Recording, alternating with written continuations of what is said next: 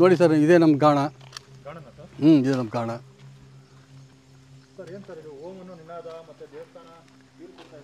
ಹಾಂ ಒಂದು ನಿಮಗೆ. ಹಾಂ.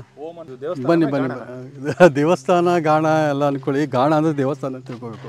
ಗಾಣ ಅಂದರೆ ಹೊಡೆದ್ರೆ ಲಕ್ಷ್ಮಿ ಅಂತ ನೆಲೆಸಿದ್ದಾಳೆ ಅಂತ ಅರ್ಥ. ಈ ಈ ಕಳಶ ಮತ್ತು ಓಂ ಬಗ್ಗೆ ಮತ್ತು ಈ ಕೆಳಗಡೆ ಒನಕೆ ಇದೆ ನೋಡಿ ಅಲ್ಲಿ ಕೂಡ ನಿಮ್ಮದು ಬ್ರಾಸ್ ಸ್ಟ್ರಿಪ್ ಸಿಗ್ತದೆ. ಇದ್ರ ಬಗ್ಗೆ ವಿಶೇಷತೆ ಇದೆ. ಅದನ್ನು ಬನ್ನಿ ಒಳಗಡೆ ಹೋಗೋಣ ನಿಮಗೆ ಎಕ್ಸ್ಪ್ಲೈನ್ ಮಾಡಿ ಹೇಳ್ತೀನಿ ಬನ್ನಿ. ಒಳಗೆ ತೋರಿಸಿ. ಎರಡು ಎತ್ತಿನ ಗಾಣ ಇದೆ. ಹಾಂ ಎರಡು ಎತ್ತಿನ ಗಾಣ ಇದೆ. ಎರಡು ಕಳಶ ಇದೆ. ಹಾಂ ಎರಡು ಕಳಶ ಇದೆ. ಓಕೆ. ಕೆಳಗಡೆ ಓಮ್ ಅಂತ ನೋಡಿ ಕಾಣಿಸ್ತದೆ ಓಮ್ ಅಂತ ಇದೆ. ಹೌದು. ಹ್ಞೂ ಅದು ಬ್ರಾಸ್ ಓಮು. ಹ್ಞೂ ಮೇಲೆ ಬ್ರಾಸ್ ಕಳಶ. ಈ ಈ ಒನಕೆ ಇದು ನೋಡಿ ಇದು ಎತ್ತಿನ ಗಾಣ ಒಣಕೆ Okay. ಅದ್ರ ಮೇಲೆ ಕೂಡ ನಿಮಗೆ ಬ್ರಾಸ್ ಸ್ಟ್ರಿಪ್ ಕಾಣಿಸ್ತದೆ ನೋಡಿ. ಹ್ಞೂ ಇದಕ್ಕೆ ಏನೋ ಒಂದು ವೈಜ್ಞಾನಿಕ ಇದು ವೈಜ್ಞಾನಿಕವಾಗಿದೆ ಕಾರಣ ಇದೆ. ನಮ್ಮ ಸ್ಪಿರಿಚುವಲ್ ಅಂದರೆ ನಮ್ಮ ಪುರಾತನ ಕಾಲದ ನಮ್ಮ ದೇವತೆಗಳಂತ ಇದು ಮಾಡಿದಂಥದ್ದು ಸ್ಪೆಷಲ್ ಒಂದು ಮಹತ್ವ ಇದೆ. ಅದು ಕ್ಲಿಯರ್ ಆಗಿ ನಿಮಗೆ ಎಕ್ಸ್ಪ್ಲೇನ್ ಮಾಡಿ ಹೇಳ್ತೀನಿ. ಇದು ತುಂಬ ನಾನು ಸ್ಟಡಿ ಮಾಡಿದ್ದೀನಿ ಒಂದು ಆರು ತಿಂಗಳು. ಇದು ಎದಕ್ಕೆ ಹಾಕಬೇಕು ಇದರಿಂದ ಏನು ಪ್ರಯೋಜನ ಅಂತ ಸ್ಟಡಿ ಮಾಡಿಬಿಟ್ಟು ಈ ಥರ ನಾನು ಗಾಣ ಗಾಣನ ನಾನು ಕನ್ಸ್ಟ್ರಕ್ಷನ್ ಮಾಡಿದ್ದೀನಿ. ಅದು ಒಂದೊಂದಾಗಿ ನಿಮಗೆ ತಿಳಿಸ್ಕೊಡ್ತೀನಿ ಬನ್ನಿ. ಅಂದರೆ ಎತ್ತಿನ ಗಾಣ ಮಾಡೋರು ಬರೀ ಎಣ್ಣೆ ಹೆಂಗ್ ತೆಗೆಯೋದು ಬೇರೆ ಇಲ್ದಿರೋ ಎಣ್ಣೆ ಹೆಂಗೆ ತೆಗೆಯೋದು ಪ್ಯೂರಿಟಿ ಹೆಂಗೆ ಕೊಡೋದು ಅಂತ ಯೋಚನೆ ಮಾಡ್ತಾರೆ.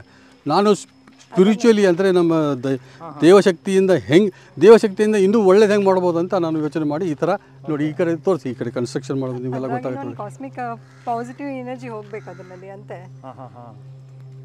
ಓಕೆ ಇದ್ರ ಬಗ್ಗೆ ವಿಶೇಷತೆಯನ್ನು ನಾನು ಹೇಳ್ಕೊಡ್ತೀನಿ. ಇನ್ನೂ ಎರಡು ಎತ್ತಿನ ಆದ್ರೆ ಇನ್ನೂ ಎರಡು ಇದು ಬರುತ್ತೆ ಕಳಶ. ಹಾಂ ಕಳಶ. ಹಾಂ ಬರ್ತದೆ. ಎಷ್ಟೇ ಎತ್ತಿನ ಕಾಣ ಕಳಿಸಿ ಬರ್ತದೆ. ಆಮೇಲೆ ಅಲ್ಲಿ ಕಳಶದ ಕೆಳಗಡೆ ಓಪನಿಂಗ್ ಇದೆ. ಸೂರ್ಯನ ಕಿರಣಗಳು ಡೈರೆಕ್ಟ್ ನಮ್ಮ ಗಾಣದ ಮೇಲೆ ಬೀಳಬೇಕು ಅಂತ ಆ ಥರ ಮಾಡ್ಕೊಂಡಿದ್ದೀನಿ ನೋಡಿ. ಹ್ಞೂ ಕಿಟಕಿ ಇದೆ ಅದು ಕಿಟಕಿ. ಹಾಂ ಸರ್ ಹಾಂ ಸರ್. ಬನ್ನಿ ಒಳಗಡೆ ಹೋಗೋಣ. ನಿಮ್ಮ ಒಳಗಡೆ ಹೋಗೋಣ. ಎಲ್ಲ ಚಪ್ಪಲ್ ಬಿಡಬೇಕಿಲ್ಲಿ ಓಕೆ ದೇವಸ್ಥಾನ ಅದು ಲಕ್ಷ್ಮಿ. ತೋರಿ ಇದೆಯಾ? ಹಾಂ ಹಾಂ.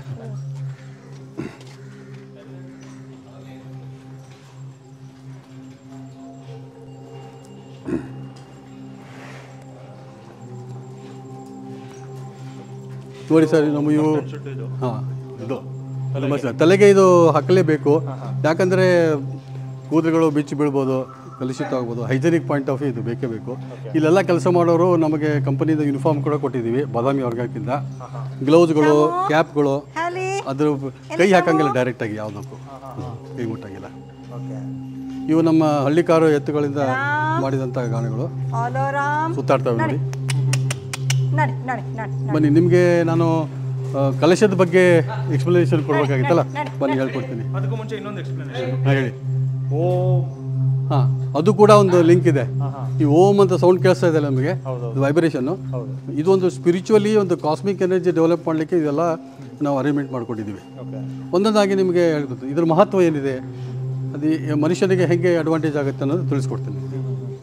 ಈಗ ನಿಮ್ಮ ಮೇಲೆ ನೀವು ಕಲಶ ನೋಡಿದ್ರಲ್ಲ ಬ್ರಾಸ್ ಕಲಶ? ನಿಲ್ಲಿಸೋದು ಔಟ್. ಓ ಓ ಓ ನೋಡಿ. ಇಷ್ಟು ಎತ್ತುಗಳು ಬರೀ ಮಾತಲ್ಲೇ ಕೇಳ್ಕೊತವೆ ನಿಂತ್ಕೊಂಡು ನಿಂತ್ಕೋತವೆ. ನೋಡಿ. ಅರ್ಥ ಮಾಡ್ಕೊತದೆ. ಇಲ್ಲಿ ನೋಡಿ ಇಲ್ಲಿ ಮೇಲೆ ಅಲ್ಲಿ ಮೇಲೆ ಒಂದು ಕಳಶ ಆಯಿತು. ಆಮೇಲೆ ಕೆಳಗಡೆ ಒಂದು ಓಮ್ ಅಂತ ಇದೆ. ಆಮೇಲೆ ಬೆಳಕಿಂಡಿ. ಈ ಸೂರ್ಯನ ಕಿರಣಗಳು ಇಲ್ಲಿ ಡೈರೆಕ್ಟಾಗಿ ನಮ್ಮ ಈ ಗಾಣದ ಮೇಲೆ ಬೀಳ್ತವೆ. ಓಕೆ. ಒಂದು. ಆಮೇಲೆ ಇದೊಂದು ಇಲ್ಲೊಂದು ನೋಡಿ ಇದು ಈ ವನಕ್ಕೆ ಇದು ಸುತ್ತದಲ್ಲ ಇದಕ್ಕೆ ಒಂದು ಬ್ರಾಸ್ ಕೂಡ ಇದೆ. ಇದ್ರ ಜೊತೆಗೆ ಇಲ್ಲಿ ಶಿವಂದು ಮೂರ್ತಿ ಇದೆ ನೋಡಿ. ಶಿವ ತಪಸ್ ತಪಸ್ಸು ಮಾಡೋದು. ಇಲ್ಲಿ ಕೆಳಗಡೆ ಒಂದು ಶ್ರೀಚಕ್ರ ಅಂತಿದೆ ಬ್ರಾಸ್. ಓಕೆ. ಇಲ್ಲಿ ಬ್ರಾಸ್ ಶ್ರೀಚಕ್ರ ಹಿತ್ತಾಳೆ. ಹಿತ್ತಾಳೆದು. ಇದು ಬ್ರಾಸದ್ದಕ್ಕೆ ಏನು ಮಹತ್ವ ಅನ್ನೋದ್ರ ಬಗ್ಗೆ ನಿಮ್ಗೆ ಹೇಳ್ಕೊಡ್ತೀನಿ ನಾನು. ಈಗ ಸೂರ್ಯನ ಕಿರಣಗಳು ಕಿರಣಗಳಲ್ಲಿ ಕಾಸ್ಮಿಕ್ ರೇಸ್ ಅಂತ ಡೆವಲಪ್ ಆಗುತ್ತೆ. ಕಾಸ್ಮಿಕ್ ರೇಸಲ್ಲಿ ಅವು ತುಂಬ ಪವರ್ಫುಲ್ ರೇಸ್ಗಳು ಅವು ಭೂಮಿ ವಾತಾವರಣವನ್ನು ವಾತಾವರಣ ತಲುಪುವಷ್ಟೊತ್ತಿಗೆ ಎಂಬತ್ತು ಪರ್ಸೆಂಟ್ ಅದು ಕೆಪಾಸಿಟಿನ ಕಳ್ಕೊಂಡಿರ್ತವೆ. ಆ ಇಪ್ಪತ್ತು ಪರ್ಸೆಂಟ್ ಉಳ್ಕೊತಿದೆ ಅದು ಮನುಷ್ಯನಿಗೆ ಮಾತ್ರ ದಕ್ತದೆ. ಹೆಚ್ಚಿಗೆ ಪವರ್ ಇದ್ದರೆ ಮನುಷ್ಯನು ಸುಟ್ಟೋಗ್ಬಿಡ್ತಾನೆ. ಆ ಇಪ್ಪತ್ತು ಪರ್ಸೆಂಟ್ ಎನರ್ಜಿ ಉಳ್ಕೊಂಡಿರ್ತದೆ ಕಾಸ್ಮಿಕ್ ರೇಜಲ್ಲಿ ಅವನ್ನು ನಾವು ಅಳವಡ್, ನಮ್ಮ ಜೀವನದಲ್ಲಿ ಅಳವಡಿಸ್ಕೋಬೇಕು ಆವಾಗ ಕಾಸ್ಮಿಕ್ ಎನರ್ಜಿ ಅಂತ ಡೆವಲಪ್ ಆಗುತ್ತೆ. ಕಾಸ್ಮಿಕ್ ಎನರ್ಜಿ ಅಂದರೆ ಏನಂದರೆ ಲೈಫ್ ಎನರ್ಜಿ ಜೀವಶಕ್ತಿ. ಅಂದರೆ ಬ, ಮನುಷ್ಯನಿಗೆ ಅದೊಂದು ಜೀವಶಕ್ತಿ ಕೊಡ್ತದೆ. ಅದು ಪವರ್ಫುಲ್ ಶಕ್ತಿ, ಅದು ಸೂರ್ಯನಿಂದ ಬರ್ತದೆ. ಈ ಕಳಶನಿ ಕೊಟ್ಟಿದ್ದಿಲ್ಲ ಬ್ರಾಸು ಆ ಬ್ರಾಸಿಗೆ ಈ ಕಾಸ್ಮಿಕ್ ರೇಜ್ಗಳನ್ನು ಎಳ್ಕೊಳ್ಳುವಂಥ ಶಕ್ತಿ ಇದೆ. ಅವಳು ಕಾಸ್ಮಿಕ್ ರೇಜನ್ನು ಎಳ್ಕೊಂಡು ಆ ಓಮ್ ಅಂತಿದ್ದಲ್ಲ ಅದನ್ನು ಹೇಳ್ಕೊಂಡು ಈ ನಮ್ಮ ಒನಕೆ ಮೇಲೆ ರಿಫ್ಲೆಕ್ಟ್ ಆಗ್ತವೆ. ಇಲ್ಲಿಂದ ಶ್ರೀಚಕ್ರ ಅಂತಿದೆ ನೋಡಿ. ಇಲ್ಲಿಂದ ಹಿಂಗೆ ಕ್ರಾಸ್ ಆಗಿ ರಿಫ್ಲೆಕ್ಟ್ ಆಗ್ತಾ ಇರ್ತವೆ ರೇಜ್ಗಳು ರೇಸ್ಗಳು ಯಾವುದು ಕಾಸ್ಮಿಕ್ ರೇಜ್ಗಳು ಆಮೇಲೆ ಇದ್ರ ಜೊತೆಗೆ ಈಗ ಒಂದು ಸೌಂಡ್ ಕೇಳಿಸ್ತಾ ಇದೆ ನೋಡಿ ವೈಬ್ರೇಷನು ಓಮ್ ಅಂತ ನೋಡಿ. ಸ್ವಲ್ಪ ಜೋರು ಮಾಡ ಸೌಂಡ್ ಜೋರು ಮಾಡ. ಈ ಸೌಂಡ್ ಕೆಲಸ ನೋಡಿ ಓಮ್ ಅಂತ. ಓಂ ಅಂತ ವೈಬ್ರೇಷನ್ ಹಾಂ ಇಲ್ಲ ಇಲ್ಲ ಕರೆಕ್ಟ್ ಇದು ವೈಬ್ರೇಷನ್ ಕೊಡ್ತದಲ್ಲ? ಈ ವೈಬ್ರೇಷನ್ ಕೂಡ ಕಾಸ್ಮಿಕ್ ಎನರ್ಜಿನ ಇಲ್ಲಿ ಡ್ಯಾಂಪ್ ಮಾಡ್ತದೆ. ಈ ಕಾಸ್ಮಿಕ್ ಎನರ್ಜಿ ಅಂದರೆ ಜೀವಶಕ್ತಿ ಎನರ್ಜಿ ಇದರಿಂದ ಏನು ಅಡ್ವಾಂಟೇಜ್ ಅಂದರೆ ಕಡಿಮೆ ಮಾಡೋ ಕಡಿಮೆ ಮಾಡೋ. ಇದರಿಂದ ಏನು ಅಡ್ವಾಂಟೇಜ್ ಅಂದರೆ ಕಾಸ್ಮಿಕ್ ಎನರ್ಜಿ ಪಾಸಿಟಿವ್ ಎನರ್ಜಿನ ಡೆವಲಪ್ ಮಾಡ್ತದೆ. ಸುತ್ತಲೂ ಈ ನಮ್ಮ ಪೂರ್ತಿ ಗಾಣದಲ್ಲಿ ಪಾಸಿಟಿವ್ ಎನರ್ಜಿನ ಡೆವಲಪ್ ಮಾಡ್ತದೆ. ಈ ಪಾಸಿಟಿವ್ ಎನರ್ಜಿಯಿಂದ ಏನಾಗುತ್ತೆ ಅಂದರೆ ಮನುಷ್ಯನಲ್ಲಿರುವಂಥ ಬ್ಲಡ್ ಪ್ರೆಷರ್ ಜಾಸ್ತಿ ಇದ್ದರೆ ಕಡಿಮೆ ಆಗುತ್ತೆ ಕಡಿಮೆ ಇದ್ದರೆ ಲೆವೆಲಿಗೆ ಬರ್ತದೆ. ನಿಮ್ಮ ಬಾಡಿ ಬ್ಲಡ್ ಪ್ರೆಷರನ್ನು ಮೇಂಟೈನ್ ಮಾಡ್ತದೆ. ಇದರಿಂದ ಡಿಪ್ರೆಷನ್ ಕೂಡ ಕಡಿಮೆ ಆಗುತ್ತೆ. ಮನಸ್ಸಿಗೆ ಶಾಂತಿ ಇರ್ತದೆ. ನಿಮ್ಮ ಬಾಡಿಯಲ್ಲೇ ನರ್ವಸ್ ಸಿಸ್ಟಮ್ಗಳೆಲ್ಲ ಆ್ಯಕ್ಟಿವೇಟ್ ಆಗ್ತವೆ. ಪ್ರತಿಯೊಂದು ಬಾಡಿ ಪಾರ್ಟ್ಗಳು ಆ್ಯಕ್ಟಿವೇಟ್ ಆಗ್ತವೆ. ಕಲಹ ಆಗಲ್ಲ ಆರ್ಗ್ಯುಮೆಂಟ್ಸ್ ಆಗಲ್ಲ. ನೀವು ಯಾವಾಗಲೂ ಒಳ್ಳೆ ಭಾವನೆಯಿಂದ ವಿಚಾರ ಮಾಡ್ತೀರಾ? ಈಗ ಸಪೋಸ್ ಎಕ್ಸಾಂಪಲ್ ಹೇಳ್ತೀನಿ ನಿಮಗೆ. ಯಾವುದೋ ಒಂದು ಇಂಟ್ರ್ಯೂಗೆ ಹೋಗ್ತಾ ಇರ್ತೀವಿ ಇಂಟ್ರ್ಯೂ ಕೆಲಸ ಸಿಗೋಕ್ಕೆ ಆಗ್ತದೋ ಇಲ್ಲೋ? ಫೇಲ್ ಆಗಿಬಿಡ್ತೀನಿ ನೀನು ಅಂತ ಭಾವನೆ ಇರ್ತದಲ್ಲ, ಆ ಭಾವನೆ ತಪ್ಪಿಬಿಟ್ಟು ನಾನು ಪಾಸ್ ಆಗೇ ಆಗ್ತೀನಿ, ನನಗೆ ಸಿಕ್ಕೇ ಸಿಗ್ತದೆ ಅಂತ ಭಾವನೆ ಬರ್ತದೆ. ಮನೆಗಳಲ್ಲಿ ಕೂಡ ಶಾಂತತೆ ಇರ್ತದೆ. ಈ ಮನೆಗಳ ಹಳೆ ಕಾಲದ ಮನೆ ನೋಡಿ, ಮನೆ ಬಾಗಿಲಿಗೆ ಮೇನ್ ಬಾಗಿಲಿಗೆ ಕೂಡ ಬ್ರಾಸ್ ಹಾಕಿರ್ತಾರೆ ಬಾಗಿಲಿಗೆ ಓಮ್ ಅಂತ ಹಾಕಿರ್ತಾರೆ ಮನೆಯೊಳಗೆ ಬಾಸ್ ಹಾಕಿರ್ತಾರೆ. ಯಾಕೆ ಅಂತಂದರೆ ಮನೆಯಲ್ಲಿ ಕಾಸ್ಮಿಕ್ ಎನರ್ಜಿ ಡೆವಲಪ್ ಆಗ್ತದೆ ಪಾಸಿಟಿವ್ ಎನರ್ಜಿ ಆಗ್ತದೆ. ಮನೆಯಲ್ಲಿ ಕಲ ಆಗಲ್ಲ. ಗಂಡ ಹೆಂಡತಿ ಜಗಳ ಆಡೋದು ಮಕ್ಕಳ ಜಗಳ ಆಡೋದು ಇದೆಲ್ಲನೂ ಸ್ಟಾಪ್ ಆಗುತ್ತೆ. ಡಿಪ್ರೆಷನ್ ಕಡಿಮೆ ಆಗುತ್ತೆ. ಇದರಿಂದ ನಿಮಗೆ ಶಕ್ತಿ ಬರ್ತದೆ ಮನಃಶಾಂತಿ ಇರ್ತದೆ ಅಂತ ಕಾನ್ಸೆಪ್ಟು ಅದು ಕಾಸ್ಮಿಕ್ ಎನರ್ಜಿ ಸೊ ಈ ಕಾಸ್ಮಿಕ್ ಎನರ್ಜಿ ಇದರಲ್ಲಿ ನಾವು ಎಣ್ಣೆಗಳನ್ನು ತೆಗಿತೀವಿ. ಆ ಎಣ್ಣೆಗಳು ಕೂಡ ಅದರಲ್ಲಿ ಕಾಸ್ಮಿಕ್ ಎನರ್ಜಿ ಎನ್ರಿಚ್ ಆಗಿಬಿಟ್ಟು ಪ್ಯಾಕ್ಡ್ ಆಗಿಬಿಡ್ತದೆ. ಈ ಎಣ್ಣೆ ಯೂಸ್ ಮಾಡಿದರೂ ಕೂಡ ನಿಮ್ಮ ಮನೆಯಲ್ಲಿ ಸ್ವಲ್ಪ ಶಾಂತಿ ಸಿಗ್ತದೆ. ಇನ್ನೊಂದು ಎಕ್ಸಾಂಪಲ್ ಹೇಳ್ಬೇಕಂದ್ರೆ ದೇವಸ್ಥಾನಗಳಿಗೆ ಹೋಗ್ತೀರಾ? ದೇವಸ್ಥಾನದಲ್ಲಿ ಕೂಡ ಕಲಶ ಇರ್ತದೆ ನೋಡಿದಿರಾ ಬ್ರಾಸ್ ಕಲಶ ಇರ್ತದೆ. ಎಲ್ಲರೂ ನಮ್ಮ ಹಿರಿಯರು ಹೇಳ್ತಾರೆ ದೇವಸ್ಥಾನಕ್ಕೆ ಹೋದ್ಮೇಲೆ ದೇವಸ್ಥಾನದಲ್ಲಿ ದೇವರಿಗೆ ನಮಸ್ಕಾರ ಮಾಡಿಬಿಟ್ಟು ಪ್ರದಕ್ಷಿಣೆ ಹಾಕಿ ಒಂದು ಐದು ನಿಮಿಷ ಕೂತ್ಕೊಂಡು ಬಾ ಅಂತಾರೆ. ಯಾಕೆ? ಆ ದೇವಸ್ಥಾನ ಕೂಡ ಆ ಬ್ರಾಸಿಂದ ಕಾಸ್ಮಿಕ್ ರೇಗಳನ್ನು ಹೇಳ್ಕೊಂಡ್ಬಿಟ್ಟು ದೇವಸ್ಥಾನದಲ್ಲಿ ಬಿಡ್ತಾ ಇರ್ತದೆ ಅಲ್ಲಿ ಪಾಸಿಟಿವ್ ಎನರ್ಜಿ ಇರ್ತದೆ. ಅಟ್ಲೀಸ್ಟ್ ಐದು ನಿಮಿಷ ಆದರೂ ನೀನು ಪಾಸಿಟಿವ್ ಎನರ್ಜಿ ತೊಗೊಳ್ಬಾ. ಬಾ ಅವಾಗ ನಿಮಗೆ ಮನಃಶಾಂತಿ ಇರ್ತದೆ. ಅಂತ ಇದು ಕಾನ್ಸೆಪ್ಟು ಸೊ ಇದರಿಂದ ಅಂದರೆ ನೀವು ಈ ಕಾನ್ಸೆಪ್ಟಲ್ಲಿ ನಾವು ತೆಗೆದಿರೋಂಥ ಎಣ್ಣೆಗೆ ಕಾಸ್ಮಿಕ್ ಎನರ್ಜಿ ಪ್ಯಾಕ್ಟ್ ಎಣ್ಣೆ ಅಂತೀವಿ ನಾವು ಕರ್ಕೋತೀವಿ. ಅದನ್ನು ಸೇವಿಸಿದರೆ ನಿಮಗೆ ಮನಃಶಾಂತಿ ಇರ್ತದೆ. ಒಂದು ಹೆಲ್ತ್ ಆರೋಗ್ಯ ಚೆನ್ನಾಗಿರ್ತದೆ. ಇದ್ರ ಜೊತೆಗೆ ಇದು ನಮ್ಮದು ಬಾಗೆ ಮರದ ಇದು ಒಳ್ಳು. ಬಾಗೆ ಮರ ಅಂತ ಗೊತ್ತಾ? ಬಾಗೆ ಮರದಲ್ಲಿ ಒಂದು ಆ್ಯಂಟಿಬಯೋಟಿಕ್ ಪ್ರಾಪರ್ಟಿ ಇದೆ. ಈಗ ನಾವು ಪ್ರತಿ ಸತಿ ಸುತ್ತಾಡುವಾಗ ಈ ಸ್ವಲ್ಪ ಆದರೂ ಇದ್ರದ್ದು ಕಟ್ಟಿಗೆದ ಪ್ರಮಾಣ ಈ ಎಣ್ಣೆಯಲ್ಲಿ ಹೋಗ್ತದೆ. ಇದನ್ನು ಸೇವನೆ ಮಾಡೋದ್ರಿಂದ ನಿಮಗೆ ಆ್ಯಂಟಿಬಯೋಟಿಕ್ ಪ್ರಾಪರ್ಟಿ ಡೆವಲಪ್ ಆಗ್ತದೆ ಇದರಲ್ಲಿ ಆಯಿಲಲ್ಲಿ ನಿಮಗೆ ಫೈಟ್ ಮಾಡ್ತವೆ. ಆ ರೋಗ, ಈ ಫೈಟ್ ಮಾಡ್ತವೆ. ಇದೊಂದು ಬಾಗೆ ಮರದ ವಿಶೇಷತೆ. ಇನ್ನೊಂದೇನೆಂದರೆ ಈ ನಮ್ಮ ಬುಲ್ ಡ್ರಿವನ್ ಗಾಣ ಅಂತಾರೆ ಬುಲ್ ಪವರ್ ಗೊತ್ತಲ್ಲ ನಿಮಗೆ? ಎತ್ತಿನ ಪವರು ಎತ್ತಿನ ಪವರು ಎತ್ತು ಯಾರ್ದು ವಾಹನ? ಅಂದರೆ ಶಿವಂದು ವಾಹನ. ಶಿವ ಯಾರು? ಶಿವ ಇದು most powerful cosmic energy person ಅವನ ಹತ್ರ ಎಷ್ಟು ಕಾಸ್ಮಿಕ್ ಎನರ್ಜಿ ಇದೆಯೋ ಇನ್ನು ಜಗತ್ತಿನಲ್ಲಿ ಯಾರ ಕಡೆಯೂ ಇಲ್ಲ. ಅದಕ್ಕೆ ನಾವು ಶಿವನ ಫೋಟೋ ಹಾಕಿರೋದಲ್ಲಿ. ಹಾಂ. ಶಿವನಿಗೆ ಯಾವಾಗಲೂ ಓಂ ಅಂತ ವೈಬ್ರೇಷನ್ ಕೊಟ್ಟು ಅವನು ಧ್ಯಾನ ಮಾಡ್ತಿರ್ತಾನೆ ಅವನ ಹತ್ರ ಕಾಸ್ಮಿಕ್ ಎನರ್ಜಿ ಇದೆ. ಅದಕ್ಕೆ ಪವರ್ಫುಲ್ ಇದ್ದಾನೆ ಸರ್. ಅವನು ಮೂರನೇ ಕಣ್ಣಿಂದ ಸುಟ್ಟು ಹಾಕ್ತಾನೆ ಅಷ್ಟು ಪವರ್ ಬರ್ತದೆ ಅವನ ಹತ್ರ. ಅಷ್ಟು ನಮ್ಮ ಹತ್ರ ಸಿಗಲ್ಲ. ನಾವು ಎಲ್ಲೋ ಇದ್ದೀವಿ. ಸ್ವಲ್ಪ ಆದರೂ ನಾವು ಅದನ್ನು ಅಳವಡಿಸ್ಕೋಬೇಕು. ಈ ಬುಲ್ಲು ಕೂಡ ಬುಲ್ ಕೂಡ ಬುಲ್ ಪವರ್ ಅಂತ ಹೆಸರಿಡ್ತಾರೆ. ಈಗ ನಿಮ್ಮೊಂದು ವಿಷಯ ಹೇಳ್ತೀನಿ ನೋಡಿ, ಇದ್ರ ಬಗ್ಗೆ. ಒಂದು ಬುಲ್ಲನ್ನು ನೀವು ಹತ್ತು ಪ್ರದಕ್ಷಿಣೆ ಹಾಕಿಸಿ. ಹಾಕೋಕ್ಕಿಂತ ಮೊದಲು ಅವ್ರದ್ದು ಬಿ ಪಿ ಚೆಕ್ ಮಾಡಿ. ಅವ್ರದ್ದು ನೂರ ಐವತ್ತು ಬಿ ಪಿ ಇದ್ದರೆ ಒಂದು ಹದಿನೈದು ಪ್ರದಕ್ಷಿಣೆ ಹಾಕಿದರೆ ಮತ್ತೆ ಬಿ ಪಿ ಚೆಕ್ ಮಾಡಿ, ಅವ್ರದ್ದು ನೂರ ಮೂವತ್ತು ಬರ್ತದೆ. ಇದು ಪ್ರೂವನ್ ಇದೆ. ಯಾಕೆ? ಆ ಬುಲ್ಲು ಕೂಡ ಪಾಸಿಟಿವ್ ಎನರ್ಜಿಯನ್ನು ಕಳಿಸ್ಕೊಡ್ತದೆ. ಅಂದ್ರೆ ನಾವು ನಿಂತ್ಕೊಂಡು ಸುತ್ತ ಪ್ರದಕ್ಷಿಣೆ ಹಾಕಬೇಕು. ಹಾಂ ಹಾಕಬೇಕು. ಹಸು ಹಸು ಸುತ್ತ ನಾವು ಹಾಂ ಹಸು ಅಲ್ಲ ಎತ್ತು. Bull bull. ಬುಲ್ಲು ಸುತ್ತ ನಾವು ಪ್ರದಕ್ಷಿಣೆ ಹಾಕಬೇಕು ಹದಿನೈದು. ಹಾಕೋಕ್ಕಿಂತ ಮೊದಲು ಬಿ ಪಿ ಚೆಕ್ ಮಾಡಿ. ನೂರ ಐವತ್ತು ಇರ್ತದೆ ಹದಿನೈದು ರೌಂಡ್ ಆದಮೇಲೆ ಮತ್ತೆ ಚೆಕ್ ಮಾಡಿ ನೂರ ಮೂವತ್ತು ಬಂದಿರ್ತದೆ. ಕಡಿಮೆ ಇದ್ದವ್ರದ್ದು ಜಾಸ್ತಿ ಆಗ್ತದೆ ಜಾಸ್ತಿ ಕಡಿಮೆ ಬಿಟ್ಟು ಬ್ಯಾಲೆನ್ಸ್ ಆಗ್ತದೆ. ಯಾಕೆಂದರೆ ಅದು ಬುಲ್ ಪವರ್ ಅದರಲ್ಲೂ ಕೂಡ ಕಾಸ್ಮಿಕ್ ಎನರ್ಜಿ ಇರ್ತದೆ ಪಾಸಿಟಿವ್ ಎನರ್ಜಿ ಕೊಡ್ತದೆ. ಈ ಪವರ್ ಹಸುವಲ್ಲಿ ಇರಲ್ಲ. ಹಸುವಲ್ಲಿ ಬೇರೆ ಥರ ಇರ್ತದೆ. ಹಾಂ. ಹ್ಮ್. ಅದರಲ್ಲಿ ಸಹಾನುಭೂತಿ ಅನುಕಂಪ ಅದು ಒಂದು ಬೇರೆ ಹಸುಗೆ ಆಕಳು. ಅದಕ್ಕೆ ನಾವು ಇಲ್ಲಿ ಬುಲ್ಲನ್ನು ಬಳಸ್ತೀವಿ. ಅದಕ್ಕೆ ನಮ್ಮ ನಮ್ಮ ಗಾಣದಲ್ಲಿ ವಿಶೇಷತೆ ಅಂದರೆ bull driven cold wood pressed oil. ಈಗ ಈಗ ನೋಡಿ ಇದು- ಗ್ಲೌಸ್ ತೊಂಬ ಏ ಬರಲಿ ಬರಲಿ ಗ್ಲೌಸ್ ಇದೆಯಾ? ಬರಲಿ ಸ್ವಲ್ಪ ಎಣ್ಣೆ ತೆಗೆದು. ಸ್ವಲ್ಪ ಹಿಡ್ಕೊಳ್ಳಿ ಸರ್ ನೋಡಿ ಹೆಂಗಿದೆ? ತಂಪಿದೆಯೋ ಬಿಸಿ ಇದೆಯೋ ನೀವೇ ನೋಡಿ. ನಾನು ಒರೆಸ್ಕೊಡ್ತೀನಿ. ಹೆಂಗಿದೆ ಸರ್? ಏನು ಬಿಸಿ ಆಗಿದೆ ಇಲ್ಲ. ಆಗತ್ತಲ್ಲ. ಅದಕ್ಕೆ ಕೋಲ್ಡ್ ಎಣ್ಣೆಯನ್ನು ತೆಗೆಯುವಾಗ ಎಣ್ಣೆ ಬಿಸಿ ಆದ ಬಿಟ್ಟರೆ ಅದರ ಕ್ವಾಲಿಟಿ ಹೋಗ್ಬಿಡ್ತದೆ. ಎಣ್ಣೆಯನ್ನು ಒಂದು ಸತಿ ಮಾತ್ರ ನಾವು ಬಿಸಿ ಮಾಡಬೇಕು. ತೆಗೆಯುವಾಗಲೇ ಬಿಸಿ ಇದ್ದು ಅದನ್ನು ಮತ್ತೆ ನಾವು ಬಿಸಿ ಮಾಡಿ ಅಡುಗೆ ಮಾಡಿದರೆ ಅದರದ್ದು ಕೊಲೆಸ್ಟ್ರಾಲ್ ಡೆವಲಪ್ ಮಾಡಿಬಿಟ್ಟು ಹೆಲ್ತಿಗೆ ತೊಂದರೆ ಆಗುತ್ತೆ. ಸೊ ಅದಕ್ಕೆ ನಮ್ಮದು bull driven wood pressed cold oil ಅಂತ ಕರಿತೀವಿ. ಇನ್ನೊಂದು ವಿಷಯ ಇದೆ ನಮ್ಮಲ್ಲಿ ಈ ನಮ್ಮ ಇದು ಕಡಲೆ ಎಣ್ಣೆ ನೋಡಿ. ಇದು ಕಡಲೆ ಎಣ್ಣೆ. ಈ ಕಡಲೆ ಎಣ್ಣೆ ಈ ಕಡಲೆ ಎಣ್ಣೆ ನಮ್ಮಲ್ಲೇ ಬಳಸಿರೋದು. ಸೊ ನಮ್ಮ ನಮ್ಮ ಪ್ರಾಡಕ್ಟ್ ಏನಿದೆ? Organic bull driven okay wood cold pressed oil ಬೆಳೆದಿರೋ ಬೆಳೆದ ಇದು. ಹಾಂ ಇದು ಇದು ತುಂಬ ಮಹತ್ವದಿದೆ ಒಳ್ಳೆ ಕ್ವಾಲಿಟಿ ಇರ್ತದೆ. ಇದಂತ ನಮ್ಮ ಎಣ್ಣೆ. ನಾವು ತೆಗಿತಾ ಇದ್ದೀವಿ. ಈ ಮರದ ಗಾಣ ಮರದಲ್ಲೂ ವಿಶೇಷತೆ ಇದೆ. ಮತ್ತೆ ಎತ್ತಲ್ಲೂ ಬಿಡಿ ವಿಶೇಷತೆ ಇರುತ್ತೆ. ಅದಾದ್ಮೇಲೆ ಕಾಸ್ಮೆಟಿಕ್ ಎನರ್ಜಿ ಇದು ಇರ್ತದೆ. ಅದು ಎಕ್ಸ್ಟ್ರಾ ಅಡಿಷನ್ ಮಾಡಿರ್ತದೆ. ಆಮೇಲೆ ಇನ್ನೊಂದು ಈಗ ಇದನ್ನೆಲ್ಲ ನೋಡಿ ಎಲ್ಲ ನಾವು ಸಗಣಿಯಿಂದ ಸಾರಿಸೋನೆಲ್ಲ ಇದೆಲ್ಲ ಆ್ಯಂಟಿಬಯೋಟಿಕ್ ಪ್ರಾಪರ್ಟಿ ಇರ್ತದೆ. ಯಾವುದೇ ಕ್ರಿಮಿ ಕೀಟಗಳು ಕೂಡ ಬರಲ್ಲ. ಇದೇನಪ್ಪ ಸಗಣಿ ಅಂತಾರೆ? ಸಗಣಿಯಲ್ಲಿ ಆ್ಯಂಟಿಬಯೋಟಿಕ್ ಪ್ರಾಪರ್ಟಿ ಇದೆ. ಎಲ್ಲ ಅರ್ಥ ಮಾಡ್ಕೋಬೇಕು. ಮನೆಯಲ್ಲೂ ಕೂಡ ಹಳೆ ಕಾಲದಲ್ಲಿ ಕೂಡ ಮನೆ ಮುಂದೆ ಎಲ್ಲ ಸಗಣಿಯಿಂದ ಸಾರಿಸ್ತಿದ್ರು. ಯಾಕೆ? ಕ್ರಿಮಿಗಳು ಒಳಗಡೆ ಬರಬಾರ್ದು ಅಂತ ಸಾರಿಸ್ತಿದ್ರು.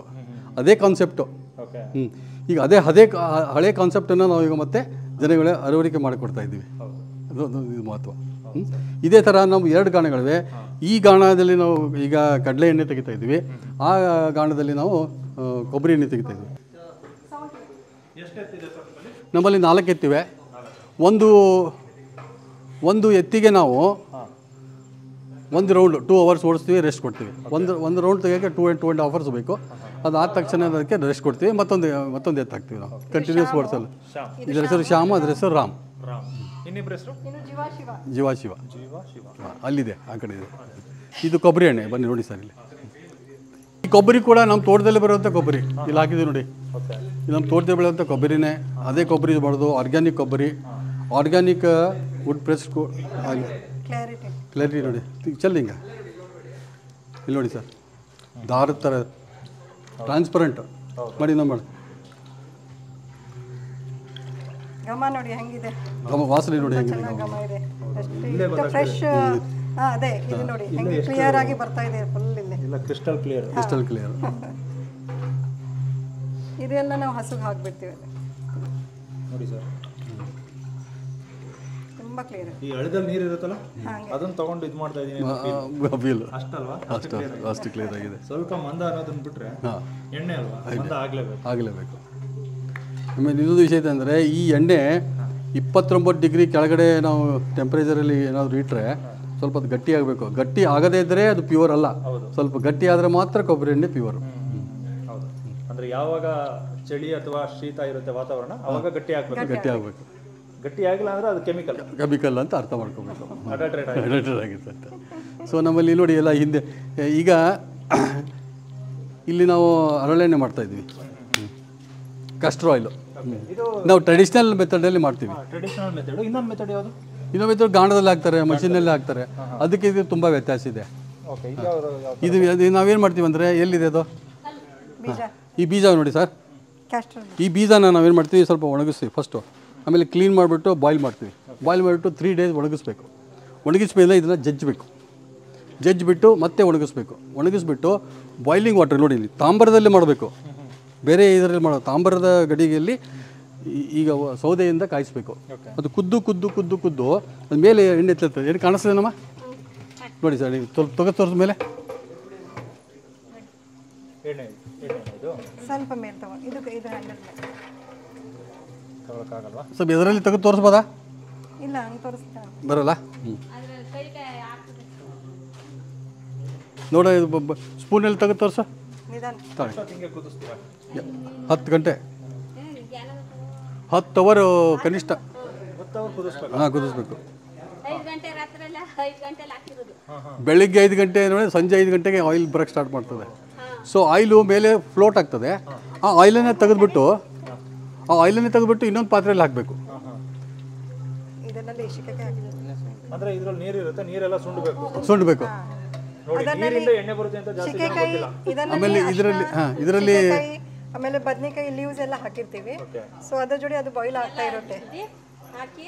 ಬೆಂದು ಹೊರಗೆ ಬರುತ್ತೆ ಇದರಲ್ಲಿ ಅರಿಶಿನ ಆಮೇಲೆ ಸೀಗೆಕಾಯಿ ಮತ್ತು ಬದನೆಕಾಯಿ ಎಲೆಗಳನ್ನು ಹಾಕಿರ್ತೀವಿ. ಅದು ಅದು ಆ್ಯಂಟಿಬಯೋಟಿಕ್ ಪ್ರಾಪರ್ಟಿ ಕೊಡ್ತದೆ ಕೆಲವೊಂದು ಹೇರ್ ಗ್ರೋತಿಗೆ ಕೊಡ್ತದೆ. ಇದನ್ನು ಸೋಸ್ಬಿಟ್ಟು ಹೊರಗಡೆ ತೆಗಿತೀವಿ. ಹೊರಗಡೆ ಇಟ್ಟು ಮತ್ತೆ ಕಾಯಿಸ್ಬೇಕು ಅದನ್ನು. ಆ ಎಣ್ಣೆನ. ಹತ್ತಿರ ಕಾಯಿಸ್ಬೇಕು. ಆಮೇಲೆ ಮತ್ತೆ ಸೋಸ್ಬೇಕು. ಅದು ಮತ್ತೆ ಸೆಟ್ಲ್ಮೆಂಟ್ ಎಲ್ಲ ಚೆನ್ನಾಗಿ ಗಟ್ಟಿ ಗಟ್ಟಿ ಬರ್ಲಿಕ್ಕೆ ನೀರು ನೀರಲ್ಲಿ ಕಾಯಿಸ್ತಾ ಇದ್ದೀನಿ ಆಮೇಲೆ ಅದು ನೀರಿನ ನೀರಿನ ಅಂಶ ಎಲ್ಲ ಹೋಗ್ಬಿಡ್ತದೆ ಮಾಯ್ಶ್ಚರ್ ಎಲ್ಲ ಹೋಗುತ್ತೆ. ಹಾಂ ಅದಕ್ಕೋಸ್ಕರ ರೀಬಾಯ್ಲ್ ಮಾಡಿ ಮತ್ತೆ ಅದನ್ನ ಸೋಸಿ ಇಡಬೇಕು. ಅವಾಗ ಕೆಸ್ಟ್ರಾಯ್ಲ್ ಆಗುತ್ತೆ ಅದೇ ಈಗ ಎಣ್ಣೆ ನಾವು ಕುದಿಸೋದ್ರಿಂದ ಅದರಲ್ಲಿರುವಂಥದ್ದು ಇಲ್ಲ ಇಲ್ಲ ಇಲ್ಲ. ಅದರಿಂದ ಹೀಟಿಂದ ಬಿಡ್ತದೆ ಅದು. ಹಾಂ. ಹೀಟಿಂದನೇ ಅದು ಎಮರ್ಜ್ ಆಗೋದು ಹೊರಗಡೆ. ತುಂಬಾ ಹಾರ್ಡ್ ಇರುತ್ತೆ. ಇದು ಓಲ್ಡ್ ಟ್ರೆಡಿಷ್ನಲ್ ಮೆಥಡು ಈಗ ರೀಸೆಂಟಾಗಿ ಕ್ಯಾಸ್ಟ್ರಾಯಿಲು ಬರ್ತವೆ. ಈಗ ಈ ಕ್ಯಾಸ್ಟ್ರೋ ಮಷಿನ್ ತರೋ ಕ್ಯಾಸ್ಟ್ರಾಯಿಲ್ಗೆ ಮತ್ತು ಈ ಬಾಯ್ಲ್ ಮಾಡೋದಕ್ಕೆ ನೀವು ಟೆಸ್ಟ್ ಮಾಡಿ ನೋಡಿಸಿದ್ರೆ ತುಂಬ ವ್ಯತ್ಯಾಸ ಇದೆ. ಇದು ಒಳ್ಳೇದು. ಒಳ್ಳೇದು. ತುಂಬ ಸಾಂಪ್ರದಾಯಿಕವಾಗಿ ಏನು ಸಾಂಪ್ರದಾಯಿಕ ಅದೇ ಒಳ್ಳೇದೇ. ಸಾಂಪ್ರದಾಯಿಕ ಒಳ್ಳೇದೇ. ಸೊ ಈ ಥರ ಮಾಡ್ತೀವಿ. ಇದು ನೋಡಿ ಇದು ಸೂರ್ಯನ ಕಿರಣಗಳು ಡೈರೆಕ್ಟಾಗಿ ಬೀಳಲ್ಲ. ಇದು ವಾಟ್ ಯು ಕಾಲ್ ಸನ್ರೈಸ್ ಈಗಂತ ನಾವು ಸೂರ್ಯ ಸೌರಶಕ್ತಿ ಸೌರಶಕ್ತಿ ಟೈಪ್ ಹಿಡ್ಕೊಂಡು ಯಾವಾಗಲೂ ಡ್ರೈ ಆಗ್ತಾ ಇರ್ತದೆ ಇಲ್ಲಿ. ಇಲ್ಲ ನಾವು ಕುಶುಬೆ ಎಣ್ಣೆ ಮಾಡ್ತೀವಿ. ಇದು ಕುಶುಬೆ. ಸ್ಯಾಫ್ಲವರ್ ಸ್ಯಾಫ್ ಫ್ಲವರ್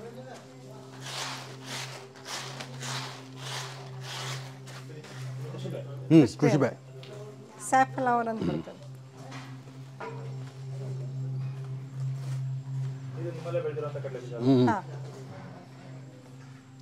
ನಮ್ಮಲ್ಲಿ ನಮ್ಮಲ್ಲಿದೆ ಕೊಬ್ಬರಿ ನಮ್ಮಲ್ಲಿ ಕಡಲೆ ಬೀಜ ನಮ್ಮಲ್ಲಿದೆ ಎಳ್ಳು ಎಳ್ಳೆಣ್ಣೆ ಎಲ್ಲಾನು ನಮ್ಮ ಜಮೀನ ಬೆಳೆದ್ರನ್ನ ಮಾಡ್ತೀವಿ ನಾವು.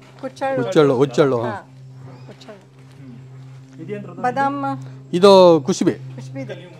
ಇವು ಎಣ್ಣೆ ತೆಗೆದಾದ್ಮೇಲೆ ಇವನ್ನ ನಾವು ಸನ್ರೈಸ್ ಕಡೆ ಇಡ್ತೀವಿ ಆಮೇಲೆ ಸೆಟ್ಲ್ಮೆಂಟ್ ಆಗ್ತದೆ ನಿಧಾನಕ್ಕೆ ಅಲ್ಲಿ ಇರೋವಂಥ ಮಾಯ್ಶ್ಚರ್ ಎಲ್ಲ ಆಪ್ರೇಟ್ ಆಗ್ತದೆ. We to keep it for three days complete settlement ಆಗಿ ಮತ್ತೆ ರೀಫಿಲ್ಟರ್ ಮಾಡಿಬಿಟ್ಟು ಬಾಟ್ಲಿಂಗ್ ಮಾಡ್ತೀವಿ. ಕಡ್ಲಿಗೆ. ಸರಿ ಇದು ನೋಡಿ. ಬಾದಾಮ್ದು ಆಯಿಲ್ ಇದೆ ನಾನು ತೆಗೆದಿಟ್ಟು. ಇದು ಬದಾಮ್ ಆಯಿಲ್ ಇದು. ಇದು ಆಲ್ಮಂಡ್ ಆಯಿಲ್ ಇದು ಆಲ್ಮಂಡ್ ಆಯಿಲ್ ಬಾದಾಮಿ ಎಣ್ಣೆ. ಇದು ಬಾದಾಮಿ ಎಣ್ಣೆ. ಆಲ್ಮಂಡ್ ಆಯಿಲ್ ಕಟ್ಟಿಬಿಟ್ರಪ್ಪ ಗಾಣದ ಮತ್ತು ಹೊರಗಡೆ ಎಣ್ಣೆ ಸಿಗೋದಕ್ಕೆ ಏನು ವ್ಯತ್ಯಾಸ ಅಂತ ಜನ ಕೇಳ್ತಾರೆ. ತುಂಬ ಜನ ಕೇಳ್ತಾರೆ. ತುಂಬ ವ್ಯತ್ಯಾಸ ಇದೆ. ಗಾಣದ ಎಣ್ಣೆ ಒಳ್ಳೆಯದು ಗಾಣದಣ್ಣೆ ಒಳ್ಳೆಯದು ಅಂತ ಹೇಳ್ತಾರೆ. ಯಾತಕ್ಕೆ ಒಳ್ಳೆಯದು ಅಂತ ಸ್ವಲ್ಪ ಜನಗಳಿಗೆ ತಿಳಿಸ್ಕೊಡ್ತೀನಿ. ಈಗ ಕಡಲೆ ಕಡಲೆ ಎಣ್ಣೆ ನೋಡಿದ್ದೀರಾ? ಒಂದು ಕಡಲೆ ಒಂದು ಲೀಟ್ರ್ ಕಡಲೆ ಎಣ್ಣೆ ತೆಗಿಬೇಕಾದ್ರೆ ಟೂ ಪಾಯಿಂಟ್ ಏಯ್ಟ್ ಕಿಲೋ ಅಂದರೆ ಮೂರು ಕಿಲೋ ನಮಗೆ ಕಡಲೆ ಬೀಜ ಬೇಕು.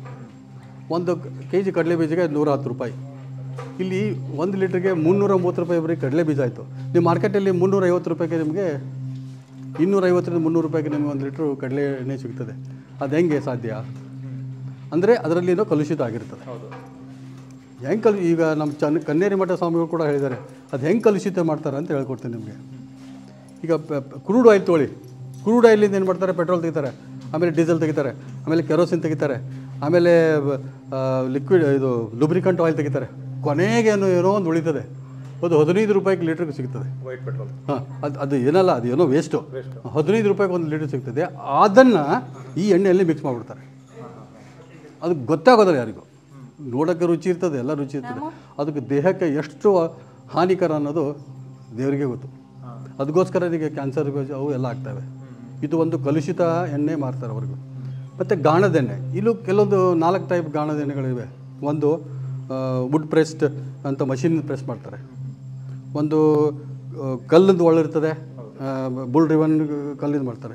ಕಲ್ಲಲ್ಲೂ ಕೂಡ ಸ್ವಲ್ಪ ಬಿಸಿಯಾಗಿ ಬರ್ತದೆ. ಮಷೀನಿಂದ ಮಷಿನ್ ಸ್ಪೀಡ್ ತುಂಬ ಜಾಸ್ತಿ ಇರ್ತದೆ. ಈ ನಮ್ಮ ಎತ್ತುಗಳು ಒಂದು ನಿಮಿಷಕ್ಕೆ ಮೂರು, ಜಾಸ್ತಿ ಜಾಸ್ತಿ ಮೂರು ರೌಂಡ್ ಹಾಕ್ತವೆ ಸ್ಪೀಡ್ ತುಂಬ ಕಡಿಮೆ ಇರ್ತದೆ. ಫ್ರಿಕ್ಷನ್ ಕಡಿಮೆ ಇರ್ತದೆ. ಮಷೀನಲ್ಲಿ ಫ್ರಿಕ್ಷನ್ ಜಾಸ್ತಿ ಆಗಿಬಿಟ್ಟು ಹೀಟ್ ಡೆವಲಪ್ ಆಗ್ತದೆ. ಅಲ್ಲೇ ಕೊಲೆಸ್ಟ್ರಾಲ್ ಡೆವಲಪ್ ಆಗಿಬಿಡ್ತದೆ. ಮಷಿನ್ ಕೋಲ್ಡ್ ಪ್ರೆಷರ್ ಆಯಿಲ್ ಕೂಡ ಈ ಬುಲ್ ಡ್ರಿವನಿಗೆ ವ್ಯತ್ಯಾಸ ಇದೆ. ಇದು ಕೂಲಾಗಿ ಬರ್ತದೆ ಸ್ವಲ್ಪ ಅದು ಹೀಟಾಗಿ ಬರ್ತದೆ. ಇನ್ನೊಂದು ಕಲ್ಲು. ಈ ಕಲ್ಲು ಕಲ್ಲು ತಿಕ್ಕಿದ್ರೆ ಏನಾಗುತ್ತೆ ಸರ್? ಬಿಸಿ ಬಿಸಿ ಬರುತ್ತೆ. ಘರ್ಷಣೆ ಆಗ್ತದೆ. ಈ ಕಲ್ಲು ಒಳ್ಳು ಕೂಡ ಘರ್ಷಣೆಯಿಂದ ಬಿಸಿಯಾಗೇ ಬರೋದು ಆಯಿಲು. ಈ ಮರ ಮರ ಘರ್ಷಣೆ ಆದಾಗ ಬಿಸಿ ಆಗಲ್ಲ ಅಷ್ಟು ಬರಲ್ಲ. ಹಾಂ. ಬಿಸಿ ಬರಲ್ಲ. ಅಷ್ಟು ಬಿಸಿ ಬರಲ್ಲ. ಮರ ಮರ ಆದರೆ. ಕಲ್ಲು ಕಲ್ಲು ಉಜ್ಜಿದ್ರೆ ಬಂದ್ಬಿಡ್ತದೆ. ಇವನ್ ಬಿಸಿಲು ದಿನಕ್ಕೂ ಬರಲ್ಲ ಅದು. ಬರಲ್ಲ ಬಿಸಿ ಬರಲ್ಲ ಯಾವುದೇ ಕಾರಣಕ್ಕೂ ಬರಲ್ಲ. ಯಾವಾಗ ಇಲ್ಲಿ ಹೆಂಗ್ ಟೆಂಪ್ರೇಚರ್ ಇದೆ ಅದೇ ಟೆಂಪ್ರೇಚರಲ್ಲೇ ಬರ್ತದೆ. ಓಕೆ ಅದೊಂದು ವಿಶೇಷತೆ. ಹೀಗಾಗಿಬಿಟ್ಟು ಕೊಲೆಸ್ಟ್ರಾಲ್ ಡೆವಲಪ್ ಆಗಲ್ಲ. ಅಂದ್ರೆ ಇದು ಇಲ್ಲೆಲ್ಲೂ ಸಿಗಲ್ಲ ನಿಮ್ಮ ಬೆಂಗಳೂರಲ್ಲೇ ಸಿಗೋದು? ಯಾವುದು? ನಿಮ್ಮ ಸ್ಟೋರಲ್ಲಿ ಹಾಂ ಈ ಎಣ್ಣೆ ಎಲ್ಲ ನಮ್ಮ ಸ್ಟೋರಲ್ಲಿ ಸಿಗ್ತದೆ. ಇಲ್ಲೂ ಲೋಕಲಾಗಿ ಇಲ್ಲಿ ಕೊಡ್ತೀವಿ ನಾವು. ಯಾರು ಬಂದವರೆಲ್ಲ ಕೊಡ್ತೀವಿ ಬೆಣ್ಣೆ ಕೊಡ್ತೀವಿ. ಆಮೇಲೆ ಈ ಈ ಗಾಣದಿಂದ ತೆಗೆದಂಥ ಆಯಿಲಿಗೆ ಒಂದು ಅದರಲ್ಲಿ ಒಂದು ಇದು ಇರ್ತದೆ. ಮೊನೋಸ್ಯಾಚುರೇಟೆಡ್ ಫ್ಲ್ಯಾಟ್ ಅಂತ ಇರ್ತದೆ. ಮೊನೋಸ್ಯಾಚುರೇಟೆಡ್ ಫ್ಯಾಟ್ ಪ್ರಮಾಣ ಕಡಿಮೆ ಇರ್ತದೆ.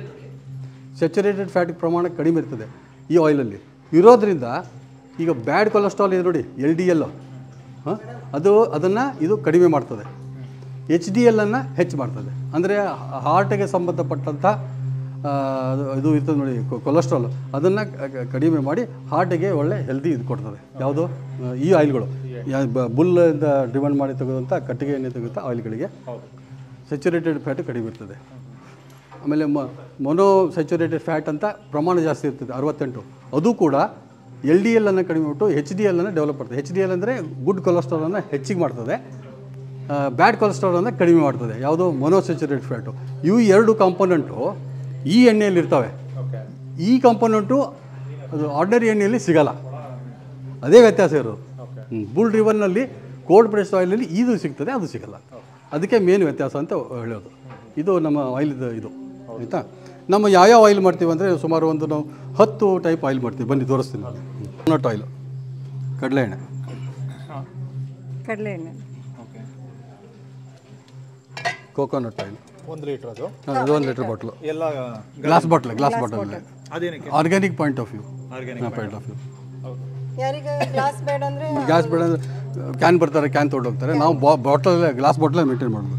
ಇದು ಎಳ್ಳೆಣ್ಣೆ. ಎಳ್ಳು. ಆಮೇಲೆ ಇದು ಹುಚ್ಚ ಹುಚ್ಚೆಳ್ಳೆಣ್ಣೆ.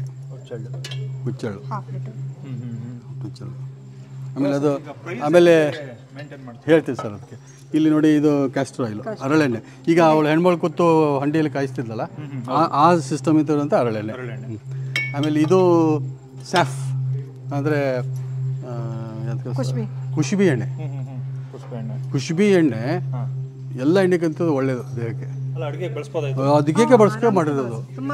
ಎಲ್ಲ ಎಣ್ಣೆಗಿಂತ ಇದು ಒಳ್ಳೆ ಎಣ್ಣೆ. ಕುಶುಬಿ ಎಣ್ಣೆ. ಅದಕ್ಕೆ ನಮ್ಮ ನಾರ್ತ್ ಕನ್ನಡ ಸೈಡು ಇದನ್ನೇ ಯೂಸ್ ಮಾಡೋದು. ಇದನ್ನು ನಮ್ಮ ಈ ಜನಗಳಿಗೆ ಇಂಟ್ರೊಡ್ಯೂಸ್ ಮಾಡಿಕೊಡ್ತಾ ಇದ್ದೀನಿ ಇದನ್ನು. ನಾನೇ ಸ್ವಂತ ಇಲ್ಲಿ ರೆಡಿ ಮಾಡಿಕೊಟ್ಟು. ಕುಸ್ಬೆ ಎಣ್ಣೆ. ಕುಷ್ಬೆ ಎಣ್ಣೆ. ಆಮೇಲೆ ಇದು mustard mustard oil mustard oil ಸಾಸಿವೆ ಎಣ್ಣೆ. ಸಾಸಿವೆ ಎಣ್ಣೆ. ಆಮೇಲೆ ಅದು ನಮ್ಮ ಮೇಡಮ್ ಅವರು ಮಾಡಿದಂಥ ಆಮ್ಲ ಆಯಿಲ್ ತಲೆಗೆ ಸ್ಪೆಷಲ್ ಇಲ್ಲೇ ಮಾಡಿರೋದು. ಇಲ್ಲಿದೆ ಆಯಿಲ್ ತಗೊಂಡು ಮಿಕ್ಸ್ ಮಾಡಿಕೊಂಡು ಆಮ್ಲ ಗ್ರೇಟ್ ಮಾಡಿಕೊಂಡು ಬಾಯ್ಲ್ ಮಾಡಿ ಇದರಲ್ಲಿ ಇದರಲ್ಲಿ ವಿಶೇಷತೆ ಏನು ಹೇಳ್ತೀನಿ ಕೇಳಿ. ಇದರಲ್ಲಿ ನಮ್ಮದೇ ಒರಿಜಿನಲ್ ಕೊಕೊನಟ್ ಆಯಿಲ್ ಇರ್ತದೆ. ನಮ್ಮದು ಒರಿಜಿನಲ್ ಇದು ಇರ್ತದೆ. ಕ್ಯಾಸ್ಟ್ರೋ ಆಯಿಲ್ ಇರ್ತದೆ. ಅಂದರೆ ಹರಳೆಣ್ಣೆ ಇರ್ತದೆ. ಆಮೇಲೆ ನಮ್ಮದೇ ಬೆಳೆಯುವಂಥ ಆಮ್ಲಗಳಿರ್ತವೆ. ಅವುಗಳನ್ನೆಲ್ಲನೂ ಪ್ರೊಪೋರ್ಷನಲ್ ಮಿಕ್ಸ್ ಮಾಡಿ ಮಾಡ್ತೀವಿ. ಇದರಿಂದ ಕೂದಲು ಹೆಣ್ಣು ಮಕ್ಕಳ ಕೂದಲಿಗೆ ಏನು ಅಡ್ವಾಂಟೇಜ್ ಅಂದರೆ ಶುದ್ಧ ಕೊಬ್ಬರಿ ಎಣ್ಣೆ ಇರೋದ್ರಿಂದ ಕೂದಲುಗಳು ಉದ್ದಾಗ್ತವೆ ಉದ್ದು ಬೆಳಿತವೆ. ಆಮೇಲೆ ಅವಕ್ಕೆ ಒಂದು ಮಾಯ್ಶ್ಚರೈಸೇಷನ್ ಇರ್ತದೆ.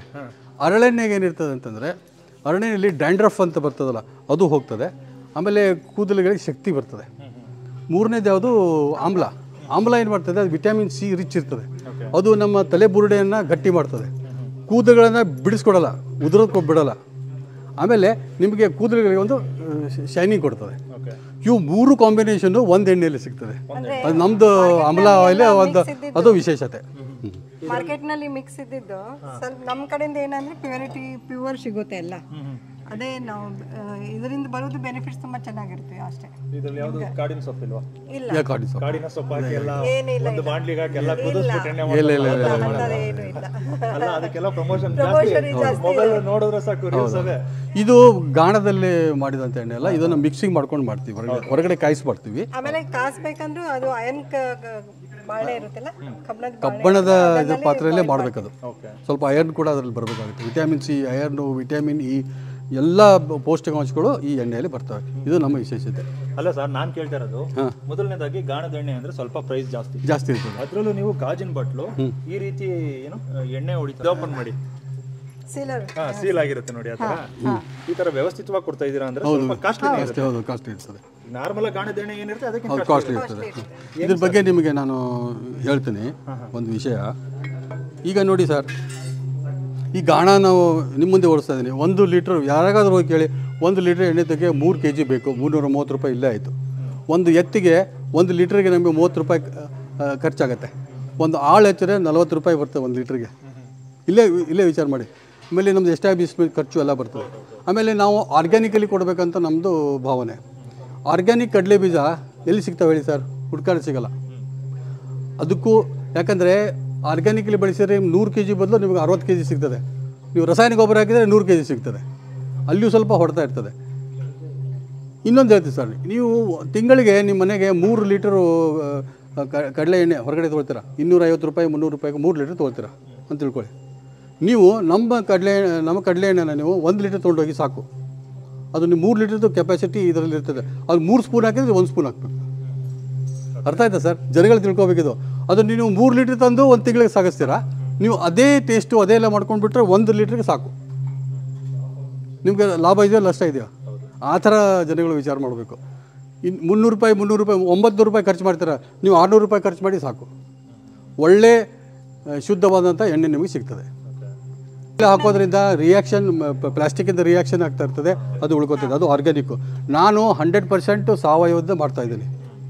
ಆಮೇಲೆ ನಮ್ದು ಎರಡು ಗಾನಗಳಿವೆ. ನನ್ನ capacity one thousand two hundred litres per month ಜಾಸ್ತಿ ಬೇಕಾದರೆ ನನಗೆ ಆಗಲ್ಲ. ನಾನು ಮಾಡಿ ಮಾಡಿ ಸ್ಟಾಕ್ ಇಡೋಲ್ಲ. ಜನಗಳು ಕೇಳ್ತಾರೆ ಮಾಡಿಕೊಡ್ತೀನಿ. ಜನಗಳು ಕೇಳ್ತಾರೆ ಮಾಡಿಕೊಡ್ತೀನಿ.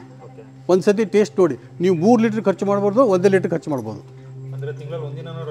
ಇಲ್ಲ ರಜೆ ಇಲ್ಲ. ಹಾಂ.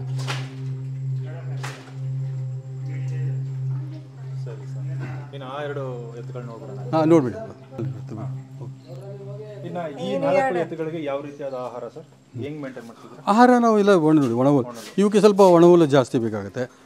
ತಿಂಡಿ ನಾವೇ ತಿಂಡಿ ಮಾಡಿ ತಂದಿಲ್ಲ. ಹೇಳ್ತಾರೆ ತೋರಿಸ್ತೇನೆ ನಿಮ್ಗೆ. ನಾವೇ ತಿಂಡಿ ಮಾಡ್ತೀವಿ ಇಲ್ಲಿ ಫ್ಯಾಕ್ಟ್ರಿಲಿ ಏ ರೀ ಜೀವ. ಶಿವ ಬಾ ಬಾ ಬಾ. ಜೀವ ಶಿವ. ಶಿವರಾಯ. ಹಳ್ಳಿ ಕರ ಅಂದ್ರೆ ಬರೀ ನಾಲ್ಕೆ? ನಾಲ್ಕು ಆಗ್ತದೆ. ಇಲ್ಲಿರೋದು ಮಾತ್ರ? ಮಾತ್ರ ಓಕೆ. ಬೇರೆದನ್ನ ಬಳಸಕ್ಕಾಗಲ್ವಾ? ಅಲ್ಲಿ ಗಿರ್ರಂತ ಬಳಸಕ್ಕಾಗಲ್ಲ ನಾವು? ಅದನ್ನು ಮಾಡಿಸೋದಕ್ಕೂ ಟ್ರೈನಿಂಗ್ ಕೊಟ್ಟರೆ ಆಗುತ್ತೆ. ಆಗತ್ತೆ. ಬಟ್ ಹಸುಗಳಿಂದ ತಗೋಬಾರ್ದು ಕೆಲಸ. ಹಸು ನಾ ಹೇಳಿದೆ ಹಸು. ಬಗ್ಗೆ ಹೇಳಿದೆ. ಹಸು ಹೆಣ್ಣು ಹಸು ಕರು ಹಸುವನ್ನ ಗಾಣಕ್ಕೆ ಬಳಸಲೇಬಾರದು. ಅದು ಮಹಾಪಾಪ. ಹೌದು. ಈಗ ನಂದಿನೇ ನಂದಿ ಅದಕ್ಕೋಸ್ಕರ ಇದೆ. ಈಗ ನೋಡಿ ಹಳೆ ಕಾಲದಲ್ಲಿ ಟ್ರ್ಯಾಕ್ಟರ್ ಇಲ್ಲಿದ್ದು ಸರ್? ಇಲ್ಲ ಸರ್. ಉಳುಮೆ ಅದರಲ್ಲೇ ಮಾಡಿಸ್ತಿದ್ರು. ಬಂಡಿಗಳಿಂದ ಬಂಡಿ ಎಳಿಸ್ತಿದ್ರು. ಎಲ್ಲನೂ ನಂದಿಗಳಿಂದ ಮಾಡಿಸ್ತಿದ್ರು. ಅದು ಅದಕ್ಕೆ ಇಟ್ಟದು. ಅಷ್ಟು ಮಾಡಿದ್ರೆ ಮಾತ್ರ ಅದಕ್ಕೆ ಊಟ ಸಿಗೋದು. ಈ ನಮಗೂ ಕೂಡ ಸರ್ ಕೆಲಸ ಮಾಡಿದ್ರೆ ಮಾತ್ರ ಊಟ ಸಿಗ್ತದೆ. ಹೆಣ್ಮಕ್ಳು ಹೆಣ್ಮಕ್ಳು ಕೆಲಸ ಮಾಡಬೇಕು ಗಂಡು ಮಕ್ಕಳು ಅದೇ ಹೇಳ್ತಾರೆ ಯಾವುದೇ ಕಾರಣಕ್ಕೂ ಆಕಳನ್ನು ಮಾತ್ರ ಈ ಗಾಣಕ್ಕೆ ಉಪಯೋಗಿಸ್ ಮಾಡಬಾರ್ದು. ಓಕೆ ಈಗ ನಾನು ಒಬ್ಬೊಬ್ರು ಹೇಳ್ತಾರೆ ನಾರ್ತ್ ಇಂಡಿಯಾದಿಂದ ಏನು ಬರುತ್ತೆ? ಆ ಹಸುಗಳೆಲ್ಲ ಮಿಲ್ಕ್ ಇಲ್ಟಿದೆ ಹಾಂ. ಹಾಲಿನ ಇಳುವರಿ ಜಾಸ್ತಿ. ಜಾಸ್ತಿ ಕೊಡ್ತವೆ. ಇನ್ನು ನಮ್ಮ ಕಡೆ ಏನಿದೆ ಸೌತ್ ಇಂಡಿಯಾದಲ್ಲಿ ಅದೆಲ್ಲ ಕೆಲಸ ಪರ್ಪಸ್. ಮಾಡ್ತವೆ. ಕೆಲಸದ ಪರ್ಪಸ್. ಬಸ್ಸಿಗೆ ಮಾಡ್ತವೆ. ಆ ಥರ ಕ್ಯಾಟಗರಿ ಇವೆ. ಈಗ ನಮ್ಮ ನಮ್ಮ ನಮ್ಮಲ್ಲಿ ದೇಶದಲ್ಲಿ ಸುಮಾರು ಒಂದು ಐವತ್ತೆರಡು ಐವತ್ತರಿಂದ ಅರವತ್ತು ದೇಶಿ ಹಸುಗಳ ಜಾತಿಗಳಿವೆ. ಅವು ಬೇರೆ ಬೇರೆ ಇದಕ್ಕೆ ಬೇರೆ ಬೇರೆನೇ ಉಪಯೋಗಿಸ್ತಾರೆ. ಹ್ಞೂ ಇದು ಜೀವನ? ಹಾ ಜೀವ. ಅದು ಶಿವ. ಜೀವ ಶಿವ. ಜೀವ. ಅಂದ್ರೆ ಏನು ಒಂದೊಂದು ಎತ್ತು ತರುವಾಗ ಏನ್ ಬೆಲೆ ಕೊಡ್ತಂದ್ರಿ ಸರ್ ಎಲ್ಲಿಂದ ತಂದ್ರಿ? ಇಲ್ಲೇ ನಾವು ಇಲ್ಲಿ ಮಂಡ್ಯದ ಹತ್ರ ಬನ್ನೂರು. ಹಾ ಹಾ ಬನ್ನೂರು. ಹ್ಮ್, ಬನ್ನೂರು ಬನ್ನೂರು. ಹ್ಮ್. ಎಷ್ಟಾಯ್ತು ಒಂದೊಂದಕ್ಕೆ? ಒಂದೊಂದಕ್ಕೆ ಒಂದು ಜೋಡಿಗೆ ನೂರ ಇಪ್ಪತ್ತೈದು ನೂರ ಮೂವತ್ತು ಬೀಳ್ತವೆ ಅಷ್ಟೊಂದು ಬೆಲೆ ಕೊಟ್ರ? ಕೊಟ್ಟು ಒಂದು ಲಕ್ಷ ಇಪ್ಪತ್ತೈದು ಸಾವಿರ? ಬೆಲೆ ಕೊಟ್ಟಿದ್ದು ಅಂದ್ರೆ ಎರಡು ಸೇರಿ ಒಂದು ಮೂರು ಲಕ್ಷ? ಆಗುತ್ತೆ ಆಗುತ್ತೆ. ಸುಮಾರು ಇದು ಒಂದು ಪೂರ್ತಿ ಕನ್ಸ್ಟ್ರಕ್ಷನ್ ಮಾಡೋಕ್ಕೆ ಒಂದು ಹದಿನೈದು ಲಕ್ಷ ಬೇಕಾಗುತ್ತೆ. ಎಲ್ಲ ಕನ್ಸ್ಟ್ರಕ್ಷನ್ ಮಾಡಿ ಆಮೇಲೆ ಇವಕ್ಕೆಲ್ಲ ಗಾಣಗಳನ್ನು ತಂದು ಒಂದೊಂದು ಗಾಣಕ್ಕೆ ಒಂದು ಲಕ್ಷ ನಲ್ವತ್ತು ಸಾವಿರ ಇವೆ ಹಾ ಹಾ. ಈ ಕಟ್ಟಿಗೆ ಗಾಣ. ಇದು ಬಾಗೆ ಮರ ನೋಡಿ. ಓಕೆ. ಒಂದೊಂದು ಗಾಣಕ್ಕೆ ಒಂದು ಲಕ್ಷ ನಲ್ವತ್ತು ಸಾವಿರ. ಸಾವಿರ. ಹಸು ಸೇರಿದ್ರೆ ಒಂದು ಅರವತ್ತು ಸಾವಿರ. ಆರು ಸಾವಿರ. ಎರಡು ಲಕ್ಷ. ಎರಡು ಲಕ್ಷ ಇದಕ್ಕೆ. ಒಂದು ಗಾಣ ಒಂದು ಯೂನಿಟ್ ಹಾಕೊಂಡ್ರೆ. ಓಕೆ. ಇದೆಲ್ಲ ಮಾಡ್ತೀನಿ ಅಂತಂದ್ರೆ ಸ್ವಲ್ಪ ಜಾಸ್ತಿ ಜಾಸ್ತಿ ಬರ್ತದೆ. ಇದೆಲ್ಲ ಇದೆಲ್ಲ ಕಾನ್ಸೆಪ್ಟ್ ಇದೆಲ್ಲ ಕಾನ್ಸೆಪ್ಟ್ ಮಾಡ್ಕೋ ಇದೆಲ್ಲ ಇಲ್ದೇನು ಮಾಡ್ಬೋದಲ್ವಾ? ಇಲ್ದೇ ಮಾಡ್ಬೋದು. ಎಷ್ಟೋ ಕಾರಣಗಳು ಇಲ್ಲದೆ ಮಾಡಿವೆ ಇದು ನಮ್ದು ಯಾವುದೋ ಒಂದು ಕಾಸ್ಮಿಕ್ ಎನರ್ಜಿ ಕಾನ್ಸೆಪ್ಟ್ ಮಾಡ್ಕೊಡ್ತೀನಿ. ನಮ್ಮ ಎಣ್ಣೆಯಲ್ಲಿ ಕಾಸ್ಮಿಕ್ ಎನರ್ಜಿ ಡೆವಲಪ್ ಆಗಂತ ಮಾಡ್ಕೊಡ್ತೀನಿ. ಒಂದು ಕಾಸ್ಮಿಕ್ ಎನರ್ಜಿ ಮಾಡ್ಕೋಬೇಕಂತ ಮಾಡ್ಕೊಂಡಿದ್ದೀನಿ. ಇದು definitely believe you are not spiritually cosmic energy ನಮ್ಮ ಆಯಿಲಲ್ಲಿ ಪ್ಯಾಕ್ ಆಗಿರುತ್ತೆ.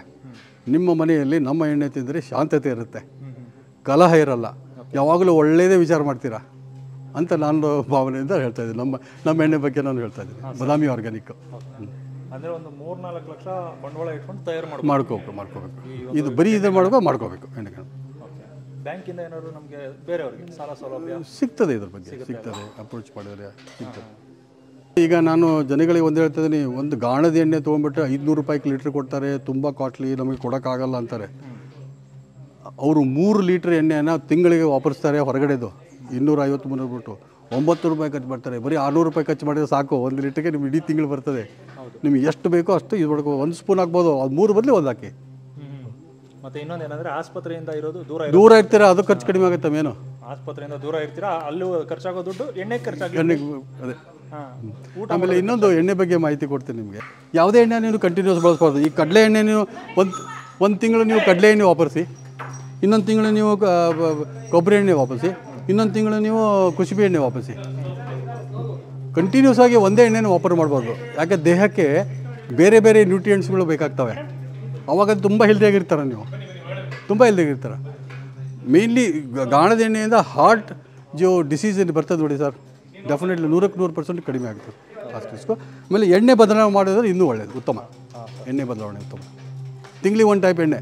ಇವಾಗ ಈ ತಿಂಗಳು ಕೊಬ್ಬರಿ ಎಣ್ಣೆ ಈ ತಿಂಗಳು ಕಡಲೆ ಎಣ್ಣೆ ಈ ತಿಂಗಳು ಕುಚುಬೆ ಎಣ್ಣೆ ಯೂಸ್ ಮಾಡ್ಕೋಬೇಕು ನನ್ನ ಸಲಹೆ ಸಲಹೆ. ಈಗ ನಮ್ಮ ಕಡಲೆಕಾಯಿ ಎಣ್ಣೆ ಯೂಸ್ ಮಾಡೋದ್ರಿಂದ ಪಿತ್ತ ಅಂತದೇನು ಬರಲ್ವಾ? ಬರಲ್ಲ ಬರಲ್ಲ ಬರಲ್ಲ. ಪ್ರಮಾಣದಲ್ಲಿ ಯೂಸ್ ಮಾಡಬೇಕು. ಯಾವುದೇ ರೀತಿಯನ್ನು ಪ್ರಮಾಣದಲ್ಲಿ ಮಾಡಬೇಕು. ನೀವು ಒಂದು ಒಂದು ಸ್ಪೂನೇ ಯೂಸ್ ಮಾಡಬೇಕು. ಮೂರು ಸ್ಪೂನ್ ಮಾಡಿದ್ರೆ ತೊಂದರೆ ಆಗುತ್ತೆ. ಯಾಕಂದರೆ ನಮ್ಮ ಜನಕ್ಕೆ ಅದರ ಒಂದು ಇದೇ ಗೊತ್ತಿಲ್ಲ ವ್ಯತ್ಯಾಸನೇ ಗೊತ್ತಿಲ್ಲ. ಗೊತ್ತಿಲ್ಲ ಗೊತ್ತಿಲ್ಲ. ನಾವು ಹೊರಗಡೆ ತಿಂತಾ ಇದೀವಲ್ಲ ಸೂರ್ಯಕಾಂತಿ ಎಣ್ಣೆ ಕಡಲೆಕಾಯಿ ಎಣ್ಣೆ ಅಂತ. ಅದ್ಯಾವುದು ಸೂರ್ಯಕಾಂತಿ ಎಣ್ಣೆ ಅಲ್ಲ ಅಲ್ಲ ಕಡಲೆಕಾಯಿ ಎಣ್ಣೆ ಆಯಿಲು ಕ್ರೂಡ್ ಆಯಿಲ್. ಎಲ್ಲ ಬಿಡ್ತಾರೆ ಯಾವ್ದೋ ವೈಟ್ ಪೆಟ್ರೋಲ್ ಹಾಕ್ಬಿಟ್ಟು ಮಾಡ್ಕೊಂಡು ಮಾಡ್ಕೊಡ್ತಾರೆ ಹೌದು. ನಮ್ಗೆ ಅದರಿಂದ ಏನ್ ವ್ಯತ್ಯಾಸ ಆಗ್ತಿದೆ ಅಂತ ಗೊತ್ತಿಲ್ಲ. ಗೊತ್ತಾಗಿಲ್ಲ. ಆಗ್ತಾ ಇದೆಯೋ ಏನಾಗ್ತಾ ಗೊತ್ತಾಗಲ್ಲ. ಯಾವತ್ತೋ ಒಂದಿನ ಗೊತ್ತಾಗುತ್ತೆ ಕ್ಯಾನ್ಸರ್ ಬಂದಾಗ. ಬಂದೇ ಗೊತ್ತಾಗುತ್ತೆ ಇವೆಲ್ಲ ಹೊರಗಡೆ ಎಣ್ಣೆ ಕ್ಯಾನ್ಸರ್ಗೆ ಮೂಲ ಹೇಳ್ತೀನಿ ಕೇಳಿ. ಹೌದು ಇವೆಲ್ಲ ಅದರ ತದ್ವಿರುದ್ಧ. ತದ್ವಿರುದ್ಧ. ವಿರುದ್ಧ. ವಿರುದ್ಧ ಫುಲ್ ವಿರುದ್ಧ. ತುಂಬಾ ಆಮೇಲೆ ಇದೇನು ಯಾವುದೇ ಎಣ್ಣೆ ನೀವು ಟೆಸ್ಟ್ ಮಾಡಿ ಸರ್ ನಿಮಗೆ ಸೆಚ್ ತುಂಬ ಕಡಿಮೆ ಸ್ಯಾಚುರೇಟೆಡ್ ಫ್ಯಾಟ್ ಸಿಗ್ತದೆ. ಒಳ್ಳೆ ಪರ್ಸೆಂಟೇಜದು ಮೊನೋಸ್ಯಾಚುರೇಟೆಡ್ ಫ್ಯಾಟ್ ಸಿಗ್ತದೆ. ಇನ್ನೊಂದು ಪಾಲಿಸ್ಯಾಚುರೇಟೆಡ್ ಫ್ಯಾಟ್ ಸಿಗ್ತದೆ. ಅದರಿಂದ ನಿಮಗೆ ಬ್ಯಾಡ್ ಕೊಲೆಸ್ಟ್ರಾಲ್ ಅಂತ ನೋಡಿ ಎಲ್ ಡಿ ಎಲ್ ತುಂಬ ಕಡಿಮೆ ಆಗ್ಬಿಡ್ತದೆ. ನೀವು ಮೂರು ತಿಂಗಳು ಪ್ರಯತ್ನ ಮಾಡಿ ಕೊಲೆಸ್ಟ್ರಾಲ್ ಲೆವೆಲ್ ಚೇಂಜ್ ಆಗಿರ್ತದೆ. ಟೆಸ್ಟ್ ಮಾಡಿ ನೋಡಿಸಿ. ಸರ್. ಮಾಡ್ಬೋದು. ಸರ್ ಶಿವನ ಅದೇ ಪವರ್ಫುಲ್ ಯಾವಾಗಲೂ ತಪಾಸು ಮಾಡ್ತಾನೆ ವೈಬ್ರೇಷನ್ ಎಲ್ಲ ಇಟ್ಕೊಂಡ್ಬಿಟ್ಟಿದ್ದೀವಿ ಸರ್ ನಾವು. ಅದೇ ರೀತಿ ನಿಮ್ ಗಾಣಕ್ಕೂ ಶಿವನ ತಪಸ್ಸಿನ ಒಂದು ಶಕ್ತಿ ಸಿಗ್ಲಿ ಈಗ ನೀವು ಕೂಡ ಇಲ್ಲಿ ನಿಂತ್ಕೊಂಡಿದ್ರೆ ನಿಮ್ಗೆ ಹೆಂಗೆ ಫೀಲ್ ಆಗ್ತದೆ ಈಗ? ವೈಬ್ರೇಷನ್ಸ್ ಹೆಂಗೆ ಆಗ್ತದೆ ನೀವು ಹೇಳಿ. ಹೌದೌದು ಚೆನ್ನಾಗಿದೆ. ಎಲ್ಲ ಗಾಣಗಳು ನೋಡಿದ್ವಿ. ನಾನು ಆ ಥರ ಗಾಣ ಮಾಡೋಕ್ಕೆ ಹೊರಟೆ. ಕೊನೆಗೆ ಯೋಚನೆ ಮಾಡಿದೆ ನಮ್ಮ ಪುರಾತನ ಕಾಲದಲ್ಲಿ ಹೆಂಗೆ ಮಾಡ್ತಿದ್ರಲ್ಲಪ್ಪ ಯಾಕೆ ಮಾಡ್ತಿದ್ರು ಕಾಸ್ಮಿಕ್ ಎನರ್ಜಿ ಅಂದರೆ ಏನಿತ್ತು ಅದನ್ನೆಲ್ಲ ನಾನು ಆರು ತಿಂಗಳು ಸ್ಟಡಿ ಮಾಡಿಬಿಟ್ಟು ಈಗ ಅದನ್ನು ಇಲ್ಲಿ ಅಳವಡಿಸಿದ್ರಿ ನಾನು ನೂರಕ್ಕೆ ನೂರು ಗ್ಯಾರಂಟಿ ಹೇಳ್ತೀನಿ. ನಮ್ಮ ಆಯಿಲ್ ತಿಂದರೆ ಮನೆಯಲ್ಲಿ ಶಾಂತಿ ಇರ್ತದೆ. ಶಾಂತಿ ಇರುತ್ತೆ. ಮತ್ತು ನಿಮ್ಮ ಬಿ ಪಿ ಕಂಟ್ರೋಲ್ ಇರುತ್ತೆ. ಡಿಪ್ರೆಷನ್ ಇರೋಲ್ಲ. ಯಾವಾಗಲೂ ಒಳ್ಳೆಯದನ್ನೇ ವಿಚಾರ ಮಾಡ್ತೀರಾ? ಯಾವಾಗಲೂ ಒಳ್ಳೆಯದನ್ನೇ ವಿಚಾರ ಮಾಡ್ತೀರಾ? ಶಿವನ ಒಂದು ಆಶೀರ್ವಾದ ಕೂಡ ನೀವು ಮೇಲೆ ಇರುತ್ತೆ. ಇರುತ್ತೆ thank you sir thank you thank you